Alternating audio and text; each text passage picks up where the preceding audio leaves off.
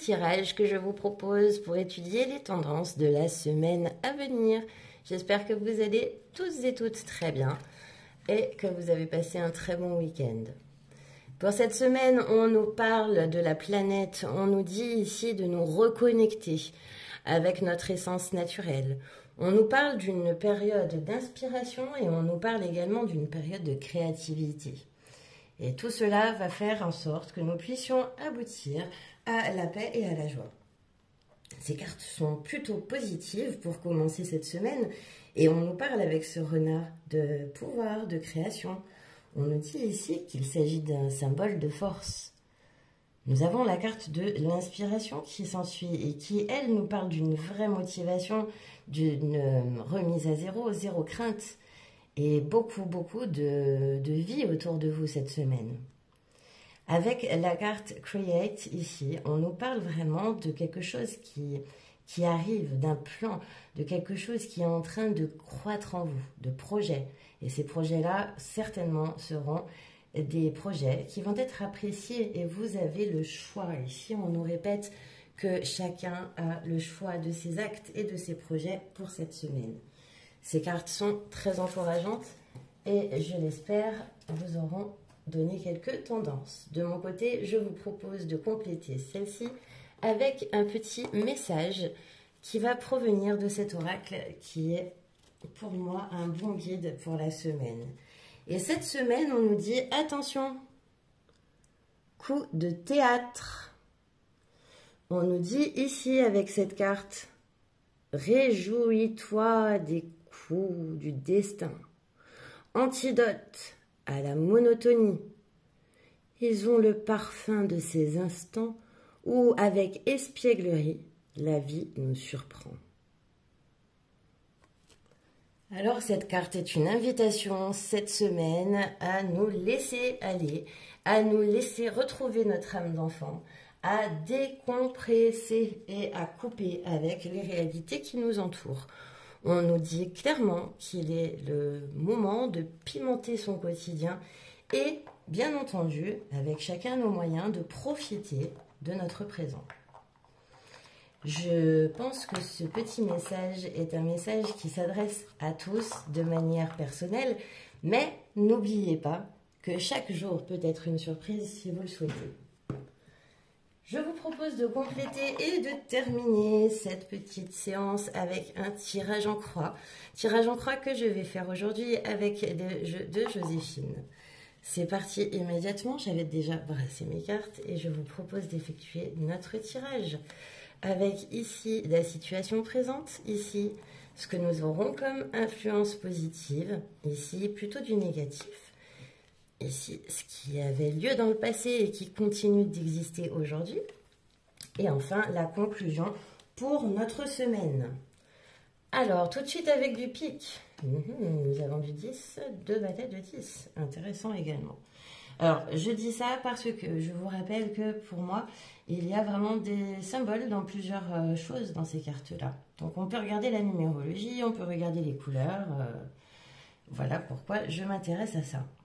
Alors ici, tout de suite, avec ce présent qui est représenté dans le 10 de pique, on nous dit que c'est la fin.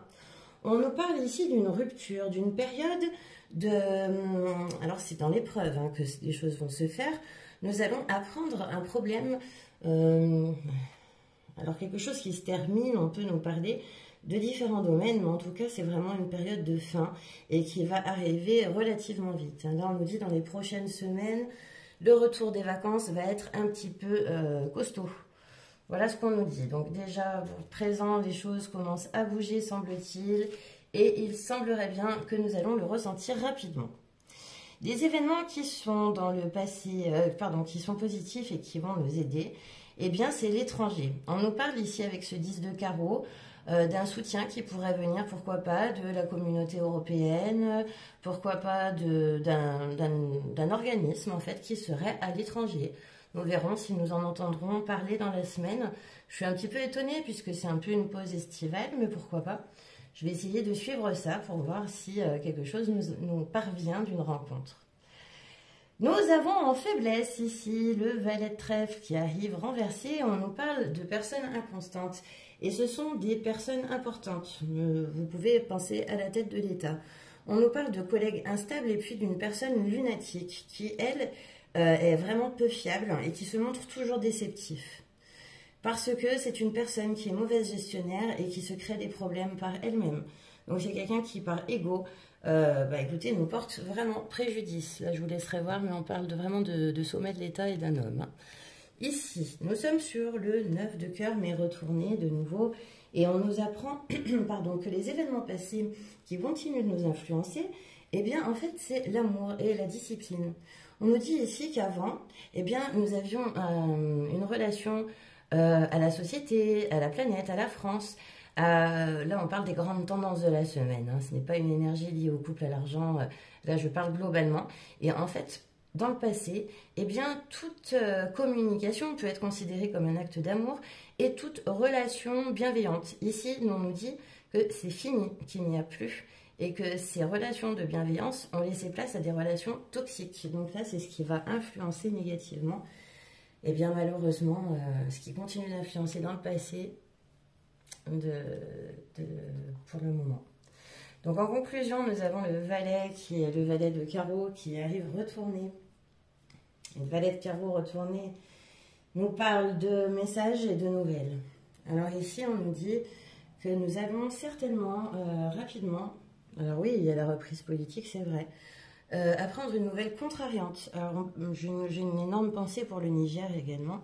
En tout cas, on nous dit vraiment qu'il euh, y a vraiment quelque chose de négatif qui est en train de se préparer et que pour l'instant, on en est au terme de négociations. Ces négociations vont échouer.